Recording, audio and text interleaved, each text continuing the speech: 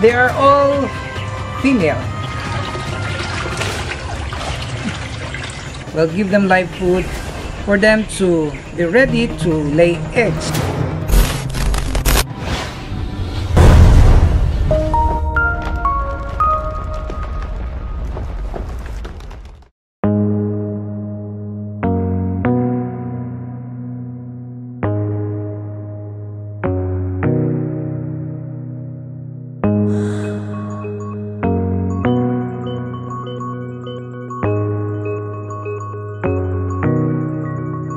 Hi guys, good morning once again and you are here at Dexter's World channel. I'd like to thank you for following us and for keep on uh, watching our videos and uh, I'd like also to give you an update today about our goldfish. As you can see here, we have new tank and I have breeder goldfish that has been groomed and conditioned to lay eggs I'd like to show you some of our breeder. So they're here and uh, you will note that this tank is just shallow. What we will do in the next couple of weeks, we are going to breed these goldfishes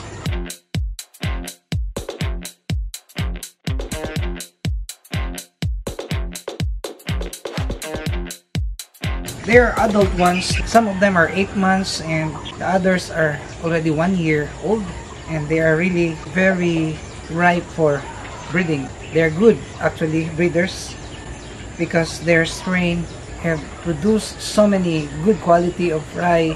I'm showing this to you because this is a an advanced information of what we're gonna do next week about this goldfish. Yesterday we uploaded a video on how to grow calico fry or goldfishes faster. I am glad that we engaged in a discussion about what we gonna do with the deformed goldfishes and someone said you're cruel enough to feed this to the flower horn and many also have reacted that no it's the, it's just that natural thing to do a culling and save the ones that are in good shape in good condition well, we are divided in our opinions about this, but for us breeders, we know that yes, it's uh, important also to save our space, and this is the hardest part in breeding. Actually, we have to let go of this deformed uh, fishes because they cannot be sold in the pet store because they have deformities. So this is business, and I understand that many of those of you that channel said that you don't have the right to take the life of these goldfishes. But anyway, although uh, that's your opinion, I, I respect all opinions and you're free to comment whatever it is that you want to comment. Just feel free to voice out your comment. This is a free channel. You are free to comment. Yesterday, we also have got more bottles. I also made an additional rocks for our betta fish and I decided to just demolish my chicken coop because I'm not using that anymore and I am converting this to fish pond. I'm giving more space to our breeding because I understand that there are more people who really wanted to know about breeding of these uh, ornamental fishes. So our breeders are here. Okay? So they're here and they are all female actually. But their tummy hasn't have eggs yet because we will condition this for two weeks. We'll give them live food for them to be ready to lay eggs. So these are all female goldfish. The males are here. We haven't yet separated the male from the female. It's really good to separate our goldfish for us to control the breeding because once you're going to mix all of them then they will be breeding at at dawn and you will not be able to control what the type of goldfish you wanted to breed. So you have to breed this intentionally. We are not crossbreeding actually. We are just uh, breeding oranda to oranda. We have the mikin to the mikin. We have pearl scale to pearl scale. Because you cannot breed lion head or cross lion head to the pearl scale By the way, these orandas will be removed out of this tank because some of them are already good for our pet store. I guess that we can harvest more or less 300 good quality of this broadtail calico oranda for our pet store today. And I'm also planning that we will take them out from here. I will make this place as a tank for our female breeder goldfish. So I'm going to separate. The female will be placed in here and the male will stay here. In the next video, maybe we can show you the actual breeding of these goldfishes.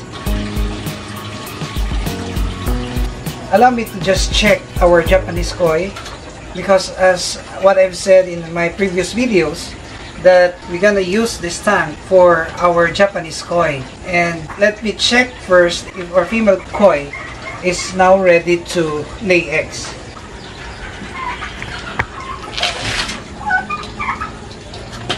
One morning I think this female is now ready to lay eggs. Okay, we'll put this in this aquarium so that we can estimate this is already good for breeding. Wow. Come on, come here. I'll check your tummy if you're ready due to deliver your eggs. Okay, come on, come on, come on, come on, come on, come on, come on. So, this is a female, a pregnant one. So we're gonna separate this one so that we can give more live food and control the feeding. We'll give 90% protein food to this koi. So the belly is bulging and they are there. So another one we have this this is the female that is ready to lay eggs. We will touch the belly, it's soft then it's already due to lay eggs. But I'm okay. This is the female. You look at the bulging tummy. Oh. can read this.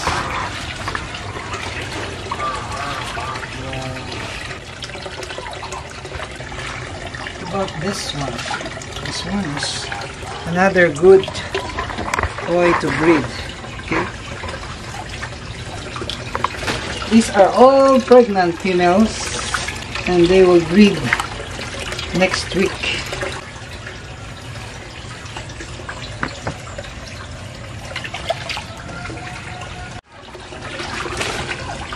this female will be the first batch of kois to be bred. We're putting this separate from the male to have an eagerness to be with the, the male.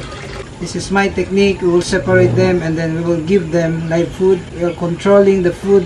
We will update you about next week how we're gonna breed this one. We will use the tank and all the betta fishes there will be transferred to the new place that we have prepared for them. So come on, let's take a look at this uh, new place for our betta. So we demolished our chicken coop to have a bigger space for our fish. I really decided to expand our fish tank so that we can breed several varieties of this uh, tropical fish. We'll proceed to new place for our betta fish.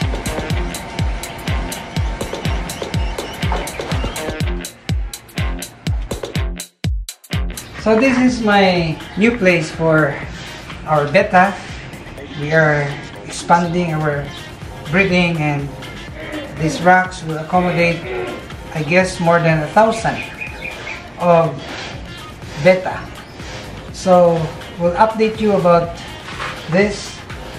That we have one, two, three, four, five layers. So this is a business actually. I hope that I have encouraged everyone to just uh, think about doing these things for your additional income, to augment your income, and to have a good business out of breeding these ornamental fishes. So that's all for today. That's the update that we can share to you today. And I hope that you will continue to like and share our videos. And please don't forget to subscribe if you haven't yet subscribed on the here at Dexter's World.